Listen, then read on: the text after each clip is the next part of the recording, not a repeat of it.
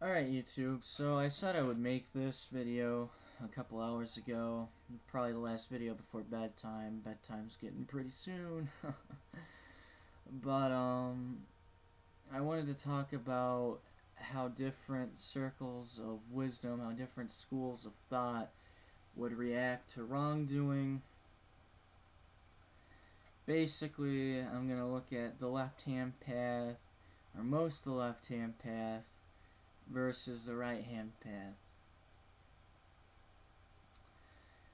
Now, many of time when I've tapped into Christian radio broadcasts out of sheer boredom and wanting to criticize criticize it, I always hear on the radio calls from women who are saying their boyfriend's being abusive, or their boyfriend dumped them, or what should they do, their boyfriend's not Christian, or their family just disowned them. And what I notice with most right hand path religions is they feast off of one's guilt and they hold it over the victim's head. I've heard a couple different answers to these questions. One one of them is you're not being faithful enough. You're not praying hard enough. Um, the other part is, oh, oh, yeah, he was possessed or he wasn't, uh, he was going through a trial. God's testing his patience. And they always put emphasis on forgiving your wrongdoers, just let them live their lives, and etc. Well, that might be fine and dandy if you can do that. But most of these people can't. They have this hate built up against them they get out of an abusive relationship and they're strong Christians and they forever feel guilty because they always think it's always something they did, a wrongdoing they did. That that was the reason that their partner broke up with them, so they can't get into a relationship or they can't trust men. I've heard of women getting raped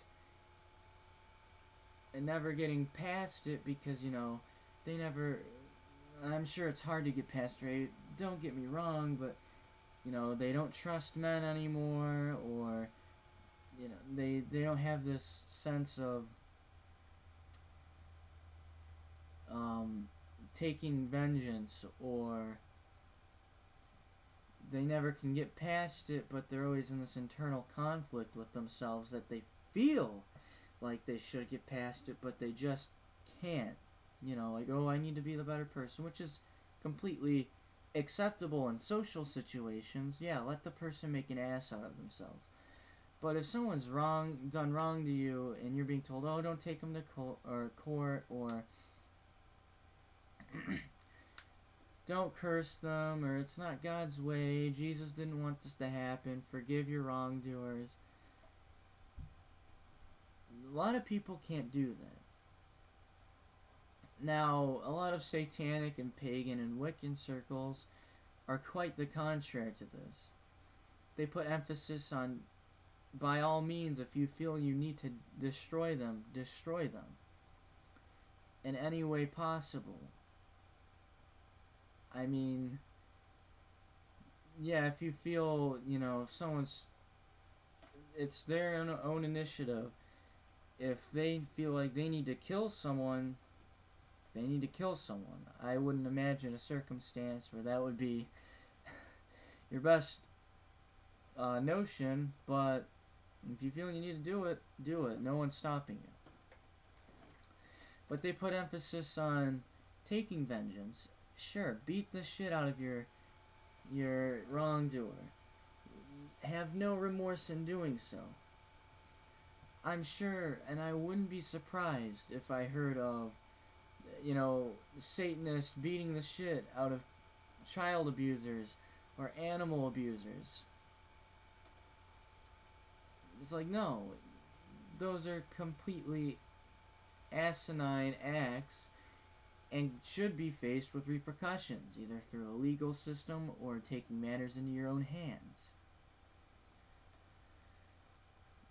So the left hand path would say, by all means, if you feel you must destroy this individual, destroy this individual. Whether this be cursing, hexing, physically harming them. And the right hand path would say, no, no, forgive them. They were weak in a time. It was emotional turmoil. And throwing a bunch of disgusting excuses. They don't want you to think for yourself. See, a left hand path philosophy isn't going to care if or if you do not take initiative and take vengeance upon those who have wronged you. It's solely your decision. Yes, we do recognize it's a completely rational way of solving your problems. However, it's your choice to make or not. Don't have some supposed higher power tell you not to. Because the central theme of the left hand is do what's right for you. If it doesn't feel right, don't do it. There's no reason you should be forced to do anything or not do anything because something that supposedly is higher than you tells you not to. That's about it for the topic of what each path would do with wrongdoers. Um, I'm going to have another video up tomorrow explaining the differences in left-hand path and right-hand path philosophy. Uh, this is Mjollnir Man. Have a wonderful night and have a wonderful tomorrow. Subscribe, check out my other videos if you're a newcomer. Peace out.